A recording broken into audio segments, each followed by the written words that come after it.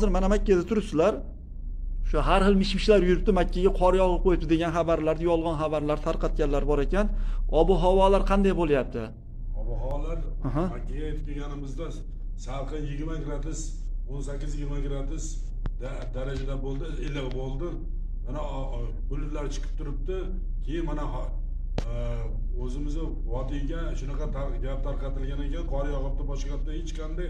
Qor yog'ilgani yo'q kecha o'n to'rtinchi kuni bitdan keyin kecha yomg'ir seviradi o'sha ozgina. yom- yomg'irda ham 15 gradusdan tushgani yo'q. Tushgani yo'q tushgani man o'sha tavof qilayotganimda suv bo'lib ketdim lekin biror bir 15 gradusda keyin uy bilan gaplashayotganda ularga maqtanyapmizda to'g'risi. Bomdodga mana shu holatda chiqyapmanda ular havas kelyapti mana shu holatda chiqyapmiz bomdodda. Ishonavering mana shu holat bitta mani kamzoriga olyapmiz o'zimni tog'ajonimchi tog'ajon siz qiynalmayapsizmi tog'a qiynalmayapsizmi?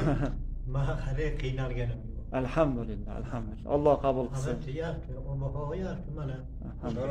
Chiqib turibdi bugun o'n beshinchi yanvarda. Ana. Biz bu tomonga aychilyapmiz turib bu yerda u yog'i bilib turibmiz yigirma yigirma besh gradusgacha sovuq sog' bo'lyapti bu yer mazaku. Alloh taolo yordam bersin a shu sovuqda yashayotgan birodarlarimizga ham yordam bersin. qilganda kimdir tarqatgan? Bir oy oldingi umuman yo'g'ilmagan bu qor. Mana shu yerdagi hoji akalarimizni shu makkada turib makkani holatiga bergan xolis guvohliklari assalomu alaykum va rahmatullohi va barakatuh